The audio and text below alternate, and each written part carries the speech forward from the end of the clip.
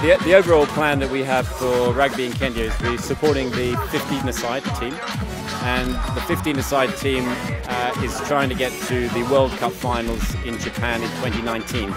To do that, they have to improve, uh, they have to play more games, they have to do more training, uh, coaching, uh, and that is our aim to assist in that process. So the more games they play, of course the more experience they get playing 15-a-side rugby and, and, improvement. And then there's the, the training. So the idea, intention is to bring one or two coaches over from New Zealand for an intensive training course. These are really top uh, international coaches to assist the uh, Kenyan coaches, to train the Kenyan coaches in some of the more uh, detailed areas of the game.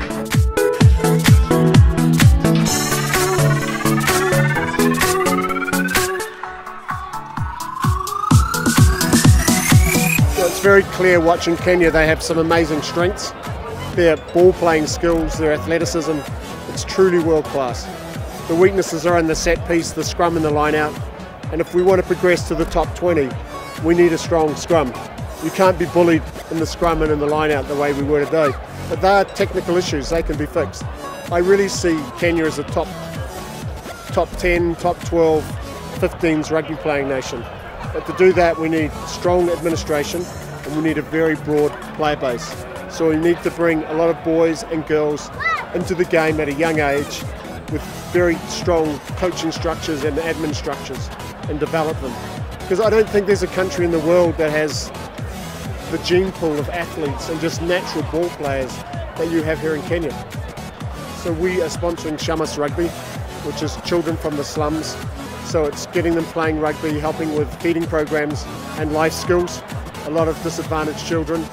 Um, there's about 1,700 children in Nairobi playing in that program now. And when you go and watch them, it's truly inspiring.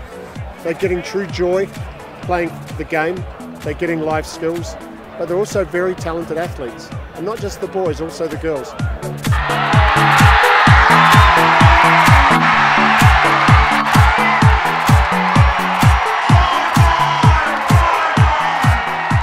It was a really, really great game of rugby and congratulations to both sets of players.